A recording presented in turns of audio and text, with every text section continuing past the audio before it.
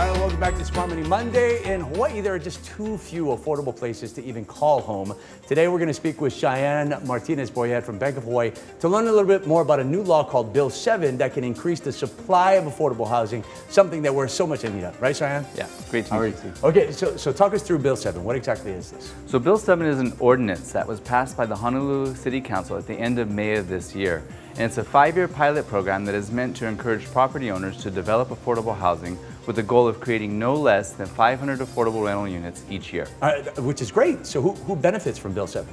Really the entire community benefits. So Bill 7 will reduce your property taxes for 10 years and create an expedited permit process of 90 days from review to approval. It makes it easier for property owners to develop affordable housing, especially on small lots. So it really is about incentivizing affordable development. And, and it seems very smart. So who else wins? Developers also win. Bill 7 will reduce the cost of what it takes to develop rental properties that generate income, thereby creating units that are affordable for Hawaii's working families. All right, and speaking of families, how does Bill 7 help them? On Oahu, we suffer from an acute housing shortage. Bill 7 will create a supply of brand new housing in places where people work and go to school. And thanks to Bill 7, no less than 80% of these units will be set aside for folks who make no more than a certain percentage of area median income, meaning those who need affordable housing the most will receive it. Which is perfect. So, so who is eligible to qualify for Bill 7 and what are the requirements in this?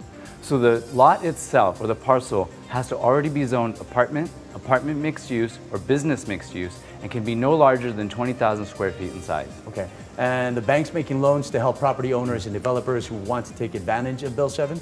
Definitely. Bank of Hawaii is working directly with property owners and developers to make sure that this five-year pilot program is an absolute success. All right, so how can property owners find out if their property qualifies as Bill 7? They just have to go to the City and County of Honolulu's website and type in Bill 7. All right, that's a lot to think about. Cheyenne, thank you. Appreciate it. Thank, thank you. And thank you for watching Smart Money Monday.